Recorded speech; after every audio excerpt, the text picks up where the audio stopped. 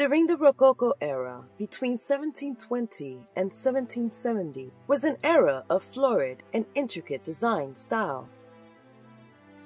After the remarkable progress in graphic design that took place during the brief decades of the incunabula and the Renaissance, the 17th century was a relatively quiet time for graphic design innovation.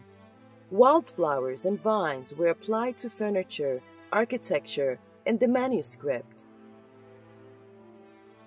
However, immortal works by gifted authors, including William Shakespeare and Miguel de Cervantes, was widely published. One of the strongest graphic designers of this era was Pierre Simon Fournier Lejeune, a punch cutter, type founder, and typographic theoretician. He was both a collector and originator of types. He worked in the Rococo form and designed typefaces including Fournier and Narcissus. He stocked the arsenals of Rococo printers with a complete design system of standardized measurements whose parts integrated both visually and physically. He pioneered the standardization when he published his first table of proportions. Jean Gerard Barbude was closely associated with Fournier Lejeune. In addition to publishing all of Fournier Lejeune's other books, the young Barbude produced volumes of exceptional Rococo design. Combining Fournier Lejeune's decorative types and copperplate engravings by Charles Estienne who specialized in illustrations of graceful intricacy and sensual intimacy in vogue with royalty and the wealthy. Adding the talents of the engraver Pierre Philippe Choffard, who specialized in ornate tailpieces and spot illustrations, resulted in book designs such as John de La Fontaine's Stories and News in Verse of 1762. The type founder, printer, and illustrator combined their talents to project the psychology of the Rococo era. The wealthy lived extravagant, sensuous, and pastoral lives in a fantasy land, oblivious to the misery and growing militancy of the poverty stricken masses. These popular books remained in vogue until the French Revolution of 1789 and brought the monarchy and the Rococo era tumbling down. Fournier Lejeune made more typographic innovations and had a greater impact on graphic design than any other person of his era.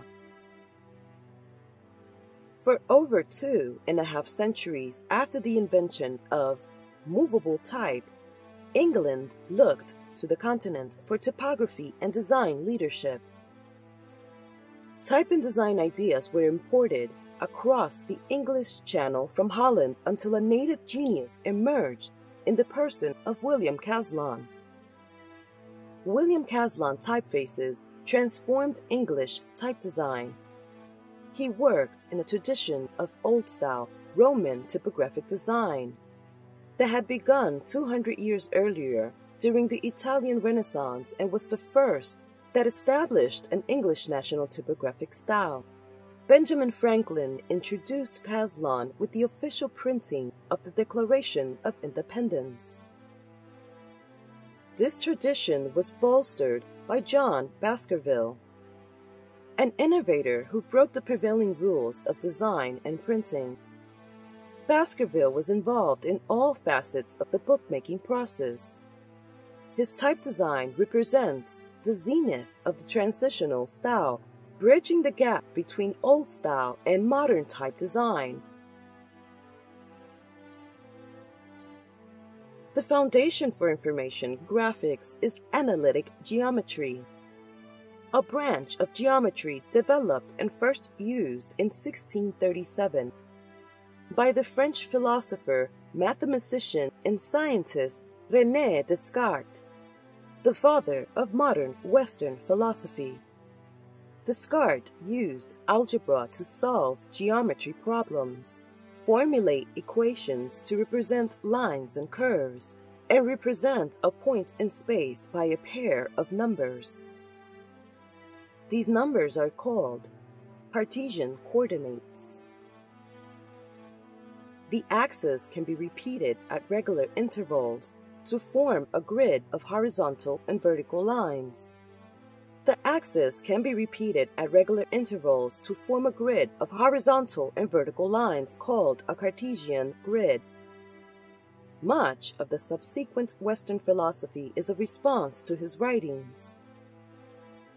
Cartesian coordinates and other aspects of analytic geometry were later used by the Scottish author and scientist William Playfair to convert statistical data into symbolic graphics.